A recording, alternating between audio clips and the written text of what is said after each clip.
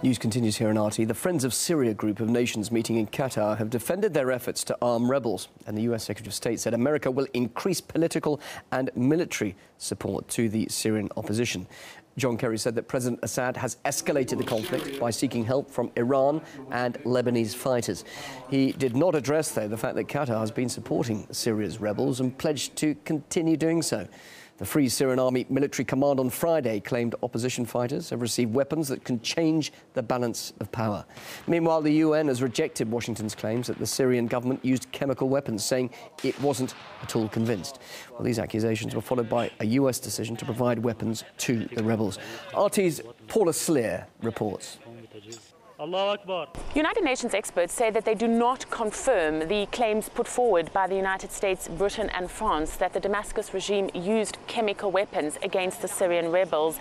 They say that despite the fact that these three countries collected evidence on the ground, such as blood, tissue and soil samples, it is inconclusive and that they will have to send their own investigators to conduct a personal investigation inside Syria. This is what the UN had to say. We cannot say what the what the weapons were. We cannot say what the agents were. We don't talk about weapons.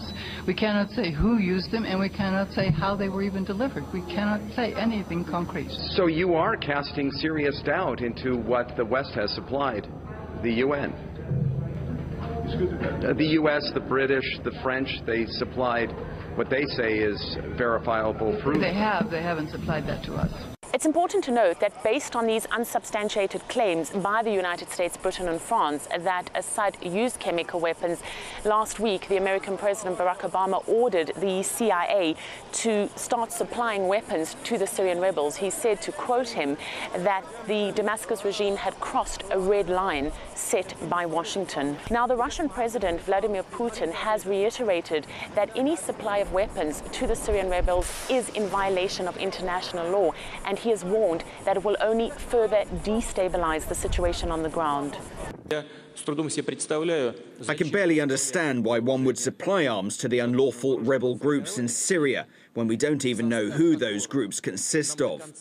If Washington acknowledges one of the key bodies of the opposition forces, the Al Nusra Front, as a terrorist organization officially and admits its link to Al Qaeda, how can they then debate arming that same opposition? Where would those weapons end up? The point that the Russian president makes that we do not know who composes the opposition and where these weapons will end up is a point that is raising concern in the international community. For 27 months, this conflict has been going on, and at this stage, it seems to be showing no signs of letting up. Paula Slier RT on the Israeli-Syrian border.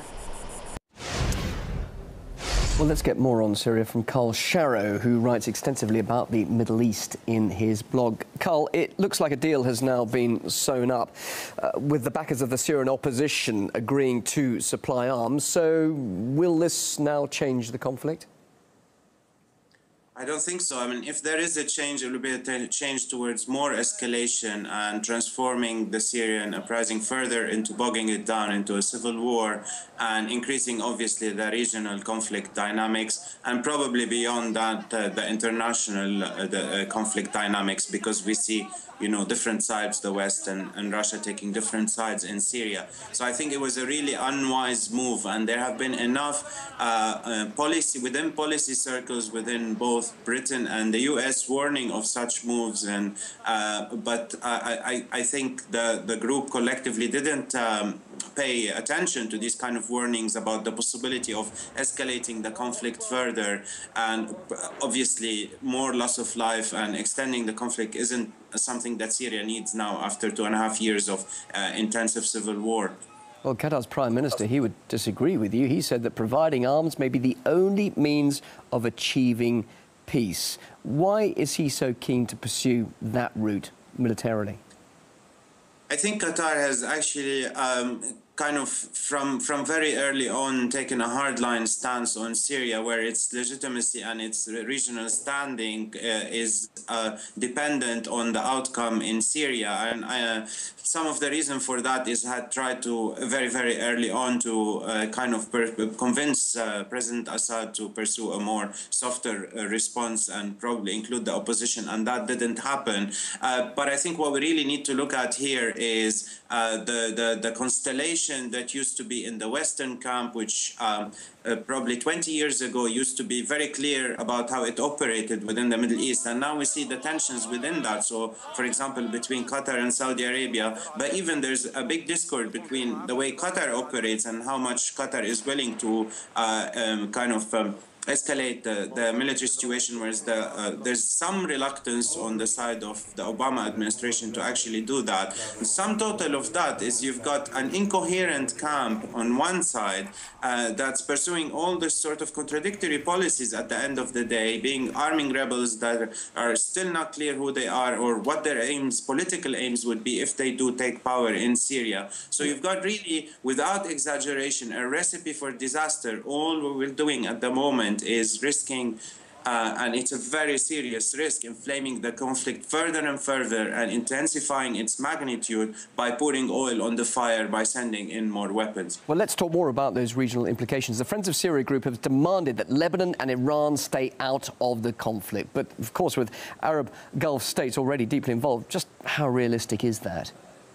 I don't think it's realistic at all. I mean, let's just look at Lebanon. The Lebanese government obviously doesn't have any power to stop neither Hezbollah nor the other groups that are fighting on the side of the rebels in uh, Syria. Um, Iran, I mean, let's look really clearly about the involvement of Iran within the Syrian conflict. It's come in response to Western moves, which are not calculated, and, and, and Gulf moves to further uh, kind of deepen their involvement in the Syrian conflict and maximize the political potential they might come from the outcome over there. So I think that, again, let's say the pro-Western camp is not really calculating that its deepening involvement as every step of the way led to further involvement by the other side. And you could say who started it at this moment, but the bigger picture is every step of escalation is going to be followed by escalation from the other side. There isn't going to be a magic moment when all the sides supporting the Syrian regime are going to say, uh, well, yes, if you're going so intense on arming the Syrian rebel and intervening in Syria, well, we're going to walk out of the situation. That's just not going to happen. What they will do is they will try to kind of consolidate their gains over there, prevent the collapse of the regime, which will mean ultimately